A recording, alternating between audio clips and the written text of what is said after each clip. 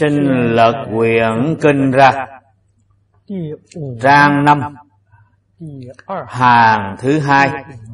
Trang năm, hàng thứ hai, phần kinh văn.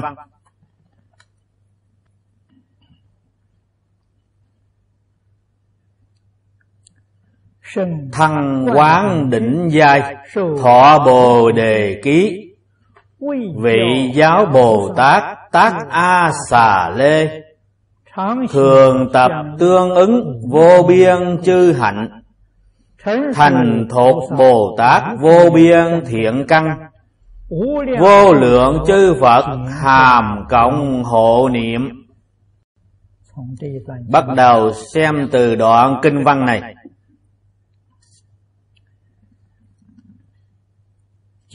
Hôm nay chúng tôi giảng đến đoạn kinh văn này đoạn này là nói thọ ký phật hộ. Tức chư phật hộ niệm.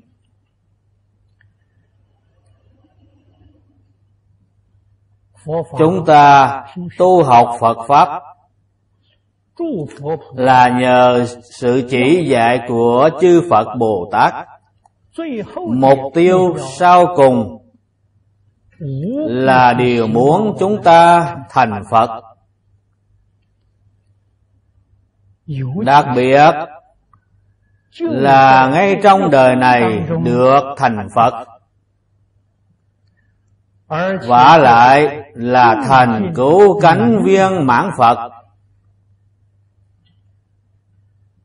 Tôi nghĩ mỗi một vị đồng tu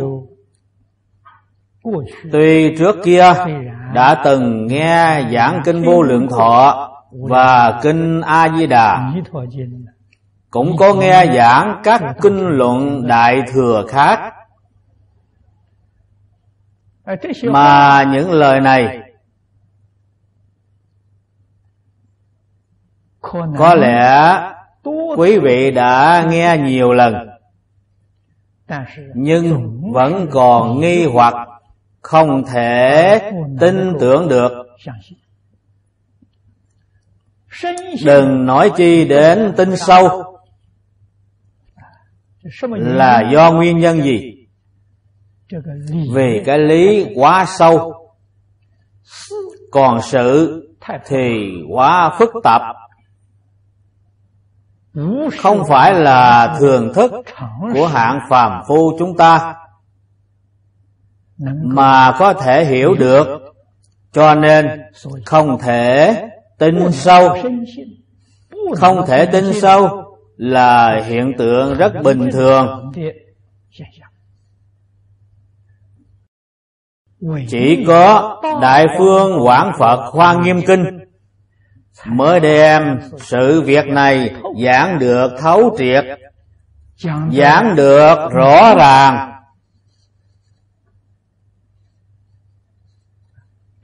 đây là sự giúp đỡ lớn lao đối với chúng ta, khiến cho chúng ta không những có thể sanh lòng tin và lại là tin sâu, không hoài nghi.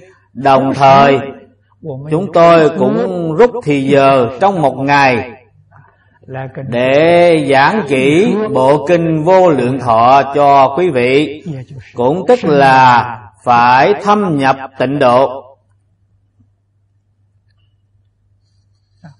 Điều có thể khiến cho quý vị đoạn nghi sanh tính. ngay trong đời này thật sự được thành tựu phật hỏa cứu cánh viên mãn. có được duyên phận như vậy rất thù thắng hy hữu. Đúng như trong bài kệ khai kinh có nói trăm ngàn muôn ức kiếp khó gặp còn cư sĩ bành tế thanh thì nói, từ vô lượng kiếp, một ngày hy hữu khó gặp. Cái một ngày đó, nay chúng ta đã gặp được. Thật là hết sức may mắn. Chúng tôi hy vọng quý vị phải trân quý cái nhân duyên hiếm có này. Phải nắm lấy cơ hội này hết lòng mà nỗ lực. Thành tựu đạo nghiệp của đời mình.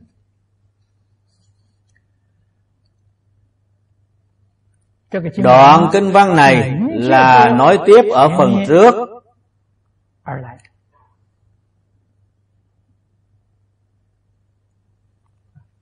Cũng là trong hành môn. Một đoạn sau cùng. Hãy xem đoạn kinh văn thăng quán đỉnh giai. Thọ bồ đề ký. Vị giáo bồ tát tát a xà lê. Trong đoạn kinh văn này, giống như khẩu khí của mật tông. Không sai. Đích thật là mật pháp.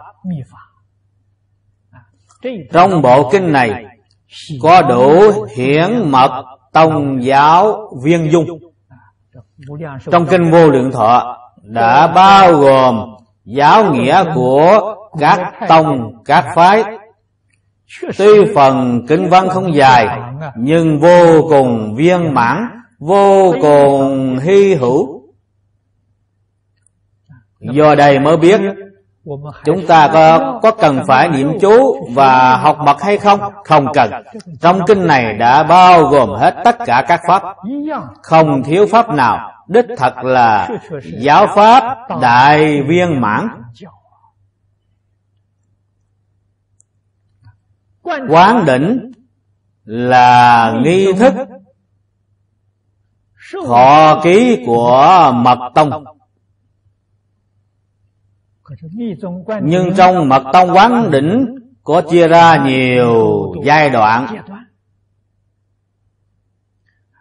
Những người mới học phật khi thọ tam quy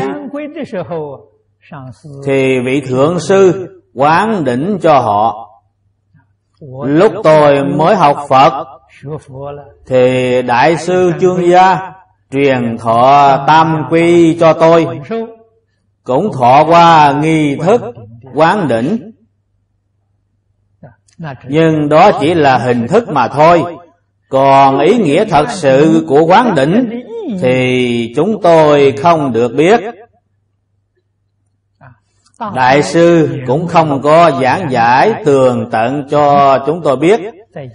Trong nghi thức quán đỉnh cũng không có giảng giải tường tận, bởi vì lúc đó những người đến thọ tam quy y, đồng thời có đến mấy trăm người.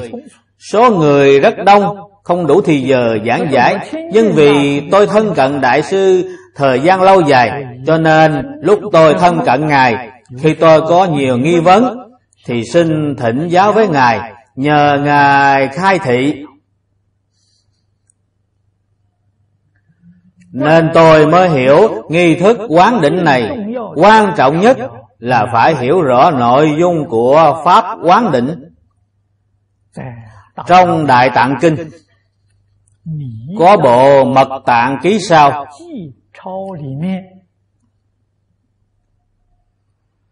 Có giải thích tường tận về pháp quán định ý nghĩa của chữ quán này là tỷ dụ. Cũng có nghĩa đại bi hộ niệm. Tức là đại từ bi. Ngày nay chúng ta gọi là gia trì. Là đại từ bi gia trì. Là đại từ bi hộ niệm, hoặc là người thế gian thường nói đại từ bi phù hộ. Những ý nghĩa này những ý nghĩa này đều có thể giảng được thông đỉnh là tối cao là cao nhất như đỉnh đầu của con người. Đỉnh là đại biểu trong tất cả pháp môn, là pháp môn cao nhất, là pháp môn thù thắng nhất, gọi là đỉnh pháp. Do đây mới biết, chúng ta đem hai chữ quán đỉnh này hợp lại thì hiểu rõ ý nghĩa, tức là phật lấy đại từ đại bi, đỉnh pháp viên mãn nhất, thù thắng nhất, truyền thọ cho quý vị thì gọi là pháp đỉnh. Thì gọi là quán đỉnh. Không phải là dùng tí nước rồi búng mấy giọt trên đỉnh đầu của quý vị, mà gọi là quán định cách quán định đó thì vô dụng, chỉ là hình thức, là hình thức của biểu pháp. Quan trọng nhất là vị thầy truyền pháp cho quý vị. Truyền các pháp này nhất định là đỉnh pháp, chí cao vô thượng quý vị đã tiếp nhận cái pháp môn này thì nhất định được tất cả chư phật hộ niệm được tất cả chư phật gia trì cho quý vị giúp cho quý vị khiến cho quý vị khế nhập đỉnh pháp khế nhập pháp môn cứu cánh của quả địa như lai thì mới gọi là quán đỉnh do đây mới biết quán đỉnh trên hình thức. Thì trong hiển giáo của chúng ta là quy y trên hình thức, là thọ giới trên hình thức, nhưng cũng không đủ bằng chứng. Trong phật pháp thì chú trọng thật chất, chú trọng chân thật. Quý vị phải thật sự thực hành thì mới có lợi ích. Ở chỗ này nói về quán đỉnh giai. Thật ra là chỉ cho bộ kinh này.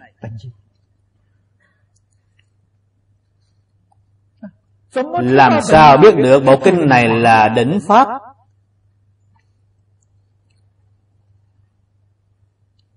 Lão cư sĩ mai quang hy. Tại trong phần trước của bản hội tập kinh vô lượng thọ, ngài có viết một lời tựa rất dài. Ngài viết lời tựa này rất hay. Trong lời tựa này có nhắc đến một đoạn. Ngài dẫn dụng những lời ghi chép của cổ đại đức trong thời đại tùy đường, phật pháp rất hưng thịnh. Tại trong lịch sử, phật giáo trung quốc có ghi chép trong thời đại đó là thời đại hoàng kim của phật giáo. Phật Pháp Đại Tiểu Thừa gồm 10 tông phái, Hầu như đều trong thời đại đó đồng thời được thành lập những vị xuất gia ưu tú nhất từ ngoại quốc đến, họ đến trung quốc để tu học. Rất là đông đảo. Trong số người tu học, có được thành tựu như những pháp sư nhật bản cũng không ít pháp sư hàn quốc cũng không ít. Vào thời đó hàn quốc chưa có thống nhất. Gọi hàn quốc là tam hàn. Lúc đó chia thành ba nước. Ở phía nam trung quốc là nước việt nam. Cũng có rất nhiều vị cao tăng đại đức đến trung quốc để tu học vào thời đó có số cao tăng đại đức họ đã từng thảo luận qua họ nghiên cứu tỉ mỉ và phân tích năm xưa Thích Ca Mâu Ni Phật giảng kinh hơn 300 hội thuyết pháp suốt 49 năm. Trong tất cả kinh điển, Ngài đã nói, bộ kinh nào có cụ thể nhất để làm để làm tính đại biểu cho toàn cả Phật pháp?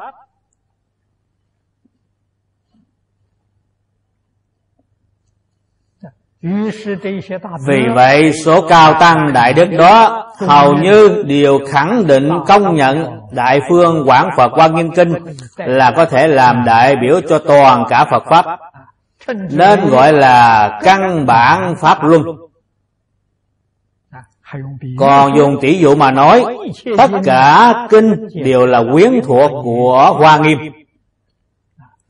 Phật Pháp giống như một cây lớn vậy. Hoa Nghiêm là cái gốc của cây này Là cái rễ của cây này. Ngoài ra Đức Thế Tôn đã nói 49 năm đã nói Pháp 49 năm Đều là cành lá của gốc rễ mà thôi.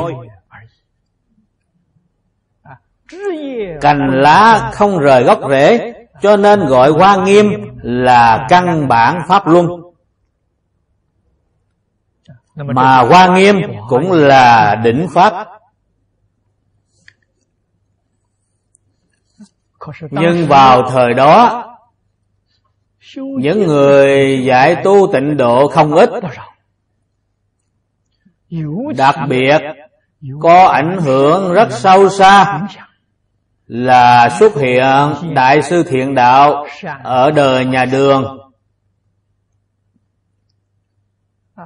Trong lịch sử Phật giáo Trung Quốc có ghi chép Ngài Thiện Đạo. Nói Ngài là hóa thân của A-di-đà Phật. Tại trong lịch sử Phật giáo Trung Quốc có nói có nói đến ba vị ba vị quá thân của A Di Đà Phật, đó là đã bộc lộ thân thân phận, còn không bộc lộ thân phận, không biết có bao nhiêu vị. Chúng ta biết vị thứ nhất là Đại sư Thiện Đạo. Vị thứ hai là Pháp Sư Vĩnh Minh Diên Thọ. Vị thứ ba là Hòa Thượng Phong Cang ở chùa Quốc Thanh. Ba vị này đã bộc lộ thân phận. Quý vị nên biết, Chư Phật Bồ Tát Thị hiện trong nhân gian. Bộc lộ thân phận rất ít. Còn không bộc lộ thân phận thì rất nhiều. Cho nên tôi khuyên quý vị đồng tu đối xử với mọi người, tâm phải cung kính nói không chừng quý vị coi thường người đó, mà người đó lại là quá thân của ai gì đà phật. Quý vị đã đắc tội với ngài, thì quý vị làm sao có thể vãng sanh chứ? Chẳng qua là nói như vậy, Chuyện vãng sanh vẫn cứ là vãng sanh. Dù quý vị có đắc tội với A-di-đà Phật, Nhưng A-di-đà Phật tuyệt đối không trách quý vị. Điều kiện vãng sanh là phải hội đủ tính nguyện hạnh. Nói tóm lại, chúng ta đối xử với tất cả mọi người, Tâm phải cung kính bình đẳng. Thì mới như Pháp. Đó là chúng ta phải luôn luôn ghi nhớ. Sức ảnh hưởng của các ngài rất lớn, đặc biệt là đại sư thiện đạo. Rất nhiều cao tăng đại đức của nhật bản đều đã từng thân cận với đại sư thiện đạo. Ngài đem tịnh độ tông truyền sang nhật bản truyền sang hàn quốc mãi cho đến ngày nay có chùa chiền của tịnh độ tông nhật bản đặt tên là chùa thiện đạo. Hệ quý vị nhìn thấy chùa thiện đạo Tức là nhất định là tu tịnh độ. Họ lấy đức hiệu của Đại sư Thiện Đạo Để đặt tên cho ngôi chùa. Họ đối với Đại sư Thiện Đạo rất cung kính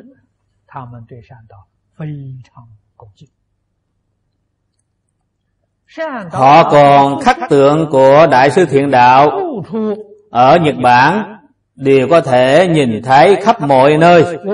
Còn đệ tử phật của tịnh tông trung quốc chúng ta đã quên mất đại sư thiện đạo.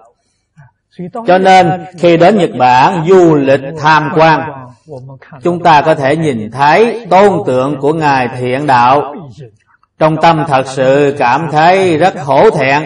Vị tổ sư của chúng ta mà người ta đối với ngài tôn kính như vậy, còn chúng ta thì đã quên mất. Cho nên Ngài Thiện Đạo đã ảnh hưởng số học trò đó. Đo cái duyên đối với tịnh độ rất sâu, Lại tỉ mỉ mà đọc kỹ Đại Phương Quảng Phật Hoa Nghiêm Kinh. Trong phần sau cùng của Kinh Hoa Nghiêm dạy như thế nào? Mới có thể viên mãn thành Phật. Thật sự đạt đến đỉnh Pháp Thì ra còn một chiêu sau cùng là Phổ Hiền Bồ Tát dạy thập đại nguyện vương dẫn về cực lạc. Như vậy mới thật sự đạt đến đỉnh Pháp. Vì vậy, số cao tăng đại đức đó khẳng định Kinh vô lượng thọ là đỉnh Pháp. Tại vì sao? Về Kinh vô lượng thọ là quy túc của Kinh Hoa Nghiêm. Đương thời, số cao tăng đại đức đó nói như vậy. Trên thực tế, Hoa Nghiêm và Pháp Hoa là dẫn đạo quý vị về tịnh độ.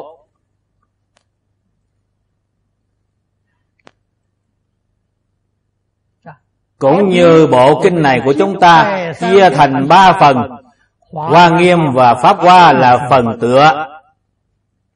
Kinh tịnh độ vãng sanh là phần chánh tông. Cho nên, kinh vô lượng thọ mới là phần chánh tông. Còn theo cách nhìn của chúng tôi là như vậy. Kinh hoa nghiêm là phần tựa, kinh vô lượng thọ là phần chánh tông, kinh a di đà là phần lưu thông. Cho nên, đời tiền thanh, cư sĩ bành tế thanh mới nói, kinh vô lượng thọ là trung bản hoa nghiêm kinh a di đà là tiểu bản hoa nghiêm. Thật ra ba bộ kinh này là một bộ. Cư sĩ Bành Thế Đanh có thể nói ra lời này là điều không đơn giản. Nếu ông không khế nhập cảnh giới đó, Thì ông nói không ra lời này. Ông thật sự là người đã giác ngộ Thì mới có thể nói ra lời này. Nay chúng ta cũng khẳng định Kinh vô lượng thọ là đỉnh Pháp. Thông thường nói Kinh Hoa Nghiêm, Kinh vô lượng thọ và Kinh A-di-đà Ba bộ kinh này đều là đỉnh Pháp.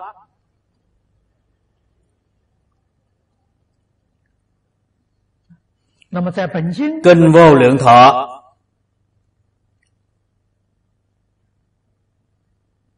Có rất nhiều bản nguyên dịch. Kinh Phật là từ Ấn Độ truyền sang Trung Quốc. Được phiên dịch nhiều nhất là Kinh Vô Lượng Thọ. Mà hiện nay, những bản nguyên dịch ở trong Đại Tạng Kinh Chỉ còn có năm loại. Năm loại bản nguyên dịch này Xưa kia, chư tổ sư Đại Đức, Họ có nghiên cứu tỉ mỉ Họ phát hiện văn tự trong năm bản nguyên dịch này có thêm bớt rất nhiều. Rõ ràng nhất là những lời nguyện văn. Bản dịch của đời nhà Hán là 24 nguyện.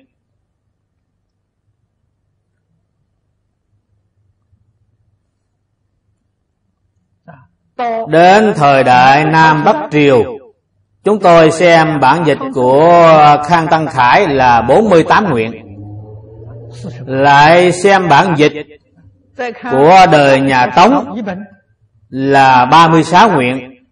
Đây là sự khác biệt quá nhiều. Nếu nguyên bản tiếng Phạn là 48 nguyện 48 nguyện không lẽ nào lại biến thành 24 nguyện, Cũng không lẽ nào lại biến thành 36 nguyện? Cho nên, chư cổ đại đức suy đoán, Nhất định là y cứ nguyên bản tiếng Phạn khác nhau. Cách suy đoán này thì nghĩ đến năm xưa Đức Thế Tôn còn tại thế, tuyên giảng kinh vô lượng thọ, giới thiệu tịnh độ với Đà, không phải chỉ có một lần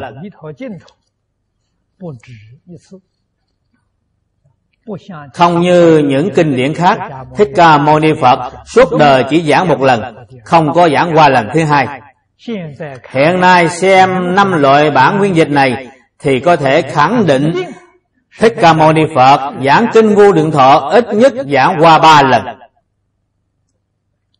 Hãy còn có bảy loại bản nguyên dịch đã thất truyền nếu bảy loại bản nguyên dịch đó mà còn tồn tại, chắc có lẽ cũng có thêm bớt.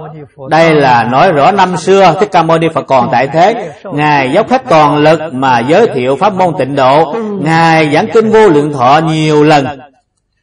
Bởi vì ngài tuyên giảng nhiều lần, Nên trong phần kinh văn của mỗi một bản có thêm bớt khác nhau, Thì mới cần phải làm bản hội tập. Cũng là cho những người sơ học như chúng ta Để tiện lợi cho việc tu học. Bản hội tập này, đối với những người sơ học như chúng ta, Thì rất là tiện lợi tu học. Bản hội tập sớm nhất là do cư sĩ Vương Long Thơ. Lần hội tập thứ hai là do cư sĩ Ngụy Mặc Thâm. Đến lần hội tập thứ ba là do lão cư sĩ Hạ Điên Cơ. Hội tập lần sau hay hơn lần trước. Bản hội tập lần thứ ba này còn hay hơn hai bản hội tập phía trước. Có thể nói, hội tập được vô cùng thù thắng. Đó là chúng ta nhận thức được cái gì gọi là định pháp sau khi đã nhận thức được đỉnh pháp, thì quý vị hiểu rõ quý vị đọc bộ kinh này từ đầu đến cuối đọc một biến thì sẽ được mười phương ba đời. tất cả chư Phật Như Lai quán đỉnh một lần cho quý vị. Đây mới gọi là chân quán định không phải là giả quán định còn thù thắng hơn vị thượng sư rưới mấy giọt nước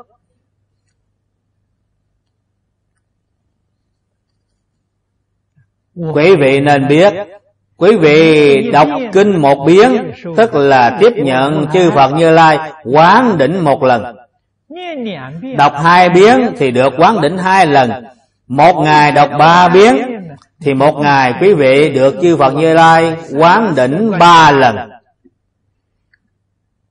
Quý vị được cái phước báo này, còn ai có thể sánh bằng quý vị?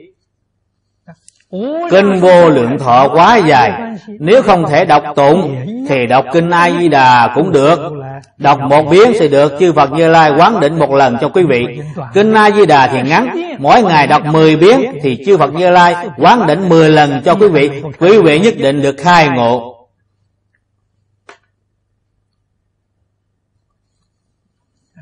Cho nên gọi là thăng quán đỉnh giai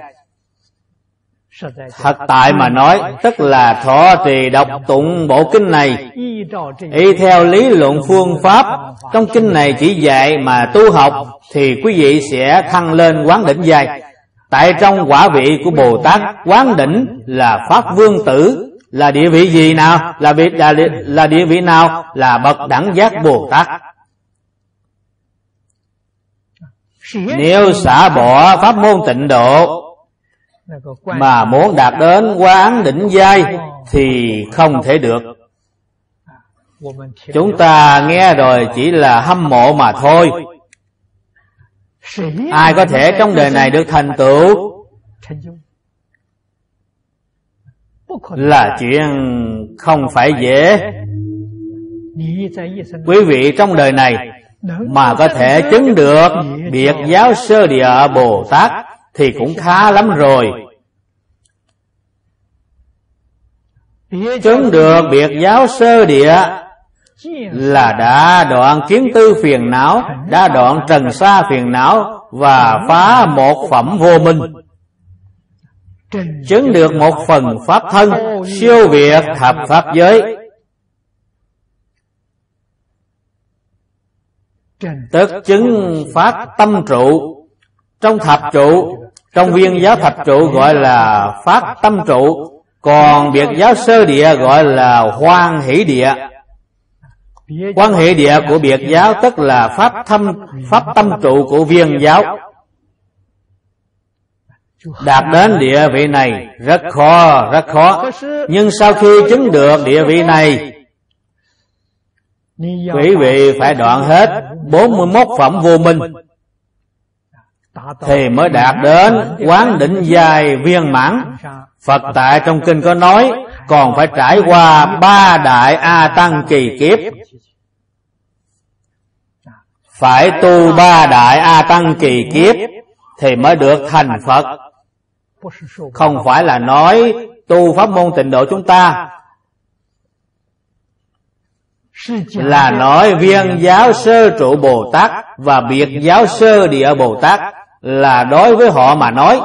Nếu chúng ta y theo Kinh Hoa Nghiêm mà nói,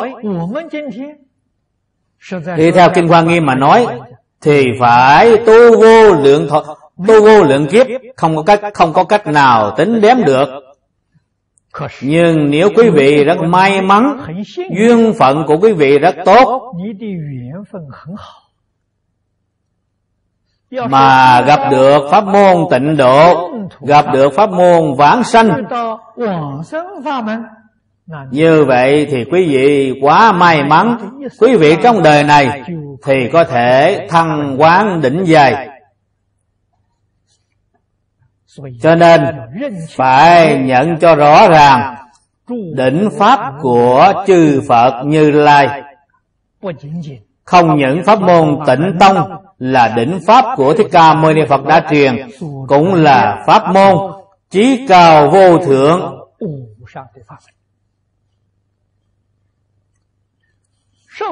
Được mười phương tất cả chư Phật Như Lai cũng đều cùng nhau truyền thọ cái đỉnh pháp này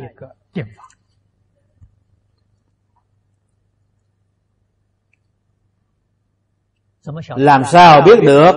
đức thế tôn tại trong kinh này bảo với chúng ta rằng ngài tán thán a di đà phật. Tán thán a di đà phật là quan trung cực tôn phật trung chi vương. Quý vị nên biết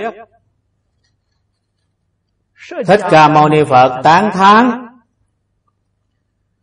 là đại biểu cho mười phương tất cả chư Phật đều tán thán.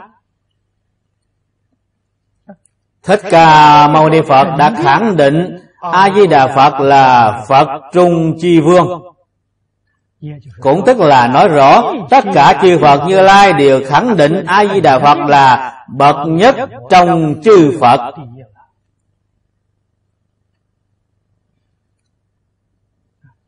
Ngày nay chúng ta phát tâm làm đệ tử của A Di Đà Phật thật là vô cùng vinh hạnh. Tất cả chư Phật khi nhìn thấy quý vị đều phải tôn kính quý vị ba phần. Tại vì sao? Vì là đệ tử của Di Đà. Rất là vinh hạnh. Tất cả chư Phật đều tôn kính thầy của chúng ta, cũng tôn kính học trò của thầy. Nhất định là như vậy cho nên chúng ta phải làm một người đệ tử chân chánh của Di Đà. Không nên làm đệ tử giả của Di Đà, Không nên làm đệ tử giả mạo của Di Đà. Nếu quý vị làm đệ tử giả mạo của Di Đà, Thì vấn đề này rất nghiêm trọng. Thần hộ Pháp không tha cho quý vị. Còn như quý vị làm đệ tử chân chánh của Di Đà, Thì chư Phật đều sẽ cung kính quý vị. Tại sao chúng ta không làm một người đệ tử chân chánh của Di Đà? Phải làm thế nào mới là đệ tử chân chánh của Di Đà? Nghĩa là mỗi ngày phải tiếp nhận A Di Đà Phật. Quán định, Quý vị phải mỗi ngày đọc kinh, Vì đọc kinh là quán định. Thì thằng quán định giai thì liền, thọ ký bồ đề. Thọ ký bồ đề là gì? Là thọ ký thành phật. Cũng là bảo cho quý vị biết, quý vị nhất định được thành phật. Đạo lý là ở tại chỗ này.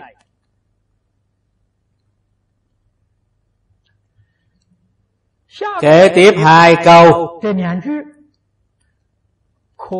Trong khoa đề gọi là thị giáo thị là thị hiện, giáo là giáo hóa.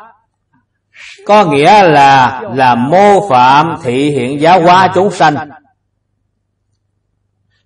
Và nêu gương thị hiện giáo hóa chúng sanh, nêu gương như thế nào?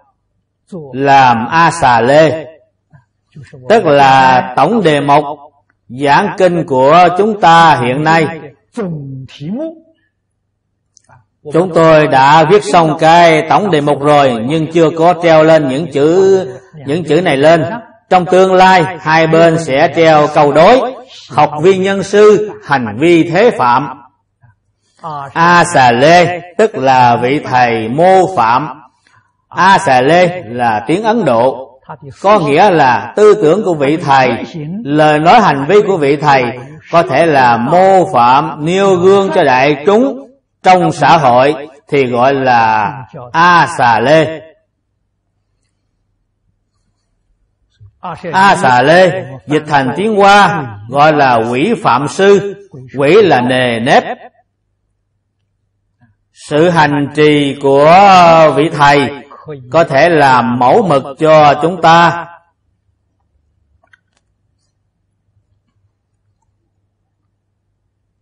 Ý nghĩa của câu này rất sâu. Phật tại trong tất cả kinh luận thường bảo với chúng ta rằng chúng ta đọc trong mỗi một bộ kinh.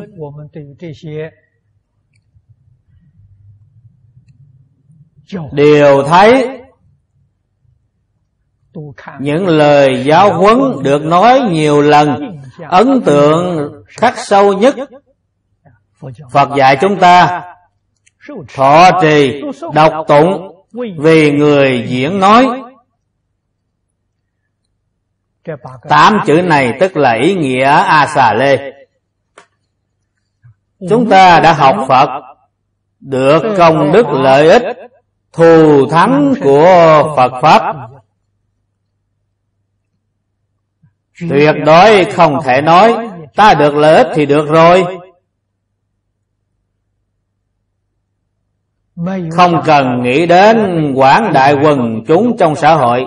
Không cần nghĩ đến tất cả chúng sanh trong lục đạo tam đồ. Đây là không tương ứng với những lời dạy của phật và những nguyện vọng của phật phật dạy cho chúng ta thọ trì. Đây là chuyện của chính mình. Thọ là phật đã chỉ dạy cho chúng ta. Tất cả đạo lý lý luận và phương pháp chúng ta phải hiểu rõ, phải tiếp nhận phật giảng cho chúng ta những cảnh giới chúng ta phải thế nhập. Có như vậy thì mới có thể thật sự được thọ dụng, gọi là thọ trì. Sau khi thọ trì đọc tụng, vừa rồi có nói quý vị đọc tụng một biến thì được chư phật như lai quán định một lần.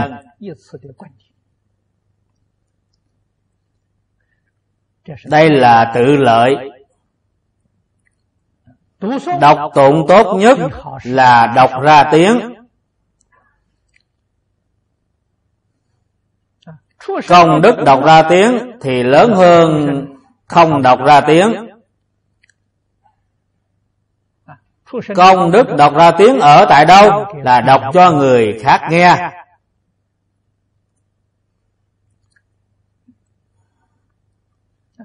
Khiến cho những người chưa tiếp xúc được Phật pháp khi họ nghe được quý vị đọc kinh. Nhưng nhưng quý vị đọc kinh, phải đọc từng chữ cho rõ ràng. Giọng điệu, giọng đọc, âm thanh phải vui tai, phải khiến cho người nghe sanh lòng hoan hỷ, nghe được rất rõ ràng, rất minh bạch. Sau khi họ nghe rồi thì sẽ giác ngộ cho nên có một số đồng tu, có lẽ tâm họ hấp tấp. Họ đọc kinh, họ đọc rất nhanh. Nghe nói họ đọc kinh vô lượng thọ, chỉ mất nửa tiếng đồng hồ thì đọc xong. Khi nghe kỹ họ đọc họ đọc tụng một chữ cũng không nghe được. Nghe cũng không rõ. Đọc từ đầu đến cuối, nửa nửa tiếng đồng hồ thì đọc xong một chữ cũng không nghe rõ. Cách đọc tụng như vậy chỉ có thể nói là tự lợi. Không thể lợi tha. Đọc kinh, từng chữ phải rõ ràng, phải hiểu được đọc kinh là lợi tha. Tự lợi là đánh thức mình. Không nên quên lời phật dạy, phải y giáo phụng hành phải đọc cho rõ ràng, đọc cho minh bạch để cho người khác nghe được. Quý vị nói, xung quanh tôi không có người, tuy không có người nhưng có quỷ thần. Nhục nhãn chúng ta không thể phát giác được những chúng sanh đó. Ngày nay chúng ta gọi là chúng sanh vô hình. Chúng sanh vô hình còn nhiều hơn những chúng sanh hữu hình. Không biết là gấp bao nhiêu lần. Quý vị đọc kinh à, đọc cho họ nghe. Họ nghe rồi sẽ được lợi lạc. quỷ thần học phật quỷ thần hộ pháp thì thiên hạ thái bình. Nên biết rằng xã hội mà động loạn thì quỷ thần loạn trước. Sau khi quỷ thần loạn rồi thì chúng ta muốn xã hội yên ổn thì là rất khó khăn. nếu muốn xã hội yên ổn trước tiên phải khiến cho quỷ thần yên ổn muốn cho số quỷ thần đó yên ổn, cái phương pháp tốt nhất chính là đọc kinh. Cho nên ý nghĩa quan trọng nhất của đọc kinh là phải độ những chúng sanh vô hình đó để làm tăng thượng duyên cho họ nghe pháp. Kế tiếp là về người diễn nói.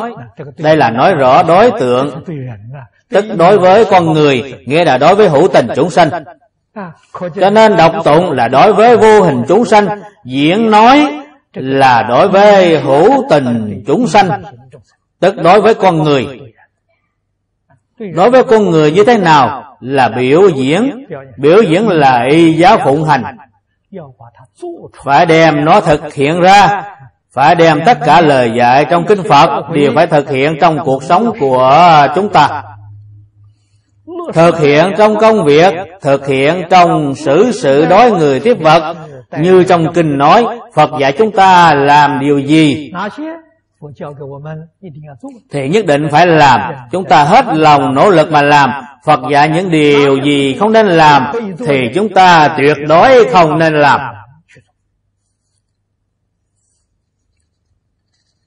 Như phần kinh văn phía sau có nói trong hành môn cương lĩnh quan trọng nhất. có ba câu. còn những câu khác đều là chi tiết đều là những chuyện nhỏ nhặt. cương lĩnh quan trọng nhất của người tu hành phật dạy điều đầu tiên là khéo giữ khẩu nghiệp không chê lỗi người khác. Phải nghe lời phật dạy ba nghiệp thân khẩu ý. Phật không nói thân khẩu ý theo thứ tự, mà là đầu tiên nói khẩu trước. Khẩu tạo nghiệp rất dễ dàng. Khẩu tạo nghiệp rất đáng sợ. Quý vị hãy đọc trong kinh địa tạng, khẩu tạo nghiệp tương lai sẽ đọa địa ngục kéo lưỡi.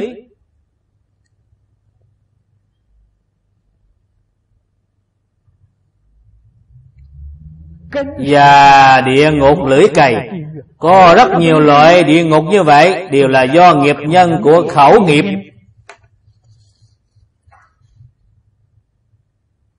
Mà tạo thành quả báo. Vọng ngữ lưỡng thiệt, ác khẩu ý ngữ. Rất dễ dàng phạm. Cho nên người chân chánh tu hành đi đến niệm phật đường. Khi vào trong niệm phật đường thì họ buông bỏ hết tất cả thân tâm thế giới buông bỏ hết tất cả ý niệm. Trong tâm chỉ có một câu a di đà phật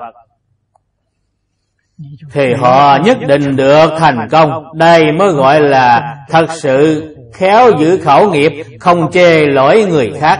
Chúng ta cũng không cần hỏi tu như thế nào, chỉ cần quý vị nhất tâm nhất ý, chuyên niệm a di đà phật thì được rồi. Không nên nổi dậy vọng tưởng. Hiện nay còn có một loại người không những họ không? những tự họ nổi dậy vọng tưởng mà còn phái người phái nhiều người đi thăm dò đi nghe ngóng chuyện của người khác. Cái vọng tưởng này thì càng lớn thì càng sai lầm.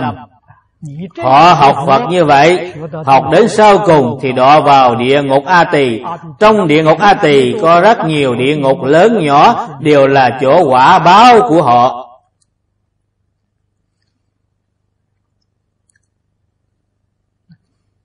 trong đề kinh của bộ kinh này chỉ dạy ba đại cương lĩnh tu hành cho chúng ta. Đó là thanh tịnh bình đẳng giác. Nếu mỗi ngày quý vị muốn biết nhiều chuyện của người khác thì tâm của quý vị làm sao được thanh tịnh? Cổ nhân có dạy cho chúng ta biết chuyện nhiều thì phiền não nhiều quý vị muốn biết những chuyện đó để làm gì? Còn phái người đi nghe ngóng, quý vị nói có tệ hại hay không? Sau khi đã thăm dò nghe ngóng, rồi thì tính cách để đối phó, điều này thật là rắc rối. Đây là có tâm luân hồi, tạo nghiệp luân hồi. Vả lại, điều là tạo nghiệp tam đồ địa ngục rất là đáng sợ. Chúng ta muốn giác ngộ là phải từ chỗ này mà tỉnh ngộ. Chuyện của người khác không có liên quan gì với ta. Ta đi nghe ngóng chuyện của họ để làm gì? Ta lo chuyện của họ để làm gì? Cho nên trong thiền tông, đại sư lục tổ huệ năng có nói được rất hay. Nếu người chân tu hành không thấy lỗi thế gian, không phải là thế gian không có lỗi ngài tự lo cho mình cũng không xong cũng không kịp đâu có thì giờ lo cho người khác. chúng ta dùng nhãn quan gì để nhìn người khác? Vừa rồi tôi có nói phải dùng nhãn quan của phật mà nhìn người khác. Chúng ta nhìn người khác thấy điều là chư phật như lai thị hiện họ hành thiện thì họ thị hiện cái dáng thiện cho chúng ta thấy. Họ làm ác thì họ thị hiện cái dáng ác cho chúng ta thấy. Đều là chư phật như lai thị hiện. Họ không có lỗi lầm gì cả. Vậy thì lỗi lầm của ai? Lỗi lầm là chính ta. Ta thấy rồi liền khởi tâm động niệm thì tạo tội nghiệp ta nhìn thấy hoàn cảnh tốt, liền khởi lòng tham. Nhìn thấy hoàn cảnh xấu, liền khởi sân hận. Liền khởi lòng sân hận thì là đã tạo nghiệp. Họ không có tạo nghiệp. Họ là chư phật như lai. Chúng ta phải dùng cái tâm thái này mà nhìn chúng sanh. Phải có tâm chân thành mà để tu học thì quý vị trong đời này nhất định được thành phật. Đúng như trong kinh có nói, Trong mắt của Phật, Nhìn tất cả chúng sanh đều là chư Phật như Lai. Ngày nay chúng ta phải học một chiêu này là cao chiêu. Trong mắt của Bồ Tát, Nhìn tất cả chúng sanh đều là Bồ Tát. Người thiện nhìn tất cả chúng sanh đều là người thiện. Người ác nhìn chư Phật Bồ Tát đều là người ác.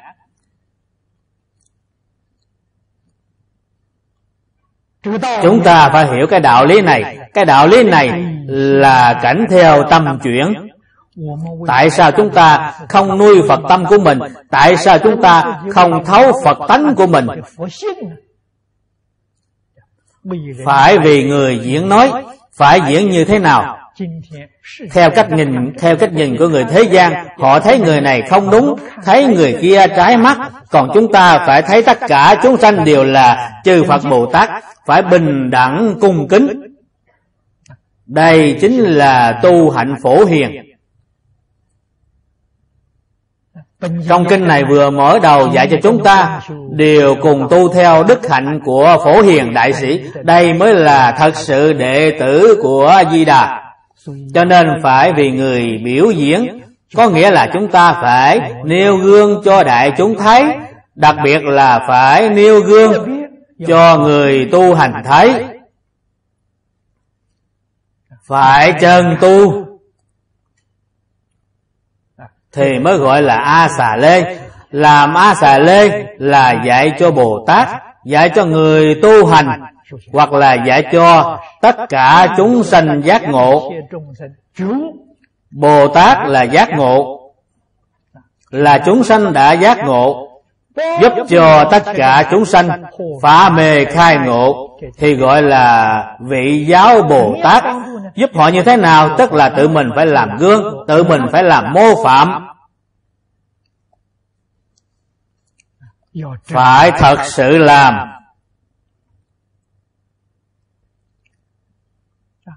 Thật sự làm. Như thế nào? Kế tiếp một câu là dạy chúng ta. Thường tập tương ứng vô biên chư hạnh. Hạnh là hành vi cuộc sống. Bên trong thì khởi tâm động niệm. Bên ngoài thì lời nói tạo tác, đây là hành vi. Hành vi phải tương ứng. Tương ứng với cái gì? Tương ứng với tự tánh, tương ứng với tánh đức. Cái tâm hạnh đó của quý vị mới thật sự là hạnh phật và hạnh bồ tát.